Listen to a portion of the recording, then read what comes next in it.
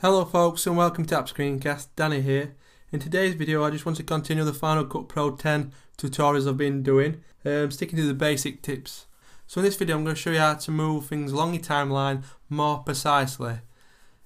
Now as you can see in my timeline here I've got a video and above that video I've got another video laid on top and underneath the video I've also got an audio track.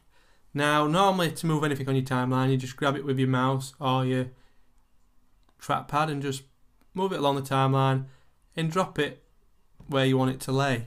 Now this is all fine in that, but if you want to do it more precisely, then using the mouse or the um, trackpad isn't the best way. What you want to do is select the actual item you wish to move by clicking on it.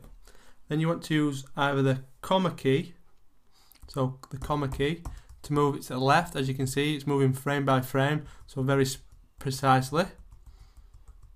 Or the full stop key, the period key, and that'll move it to the right, as you can see here.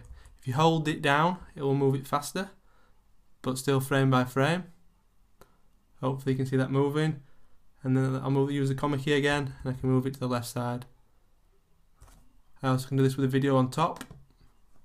So it's comma to move it to the left, frame by frame, and full stop or period to move it to the right. Really simple, and you can also do this with um, pictures or titles, etc. So anything on the timeline you can move more precisely using them two keys.